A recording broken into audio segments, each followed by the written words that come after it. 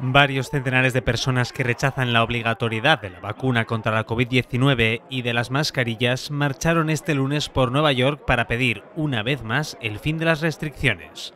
La protesta fue convocada con motivo del vencimiento de un nuevo plazo para los funcionarios públicos, que están obligados a vacunarse para seguir ejerciendo su trabajo. Así, durante la marcha, participantes portaban banderas de Canadá en solidaridad con un movimiento de camioneros antivacunas del país vecino. Las autoridades ofrecieron a los trabajadores que rechazaron vacunarse un año de excedencia obligatoria sin empleo y sueldo, pero manteniendo el derecho a la cobertura sanitaria. Según una nueva orden municipal, el próximo 11 de febrero los funcionarios en excedencia que no hayan solicitado mantener activo su seguro médico perderán totalmente su empleo.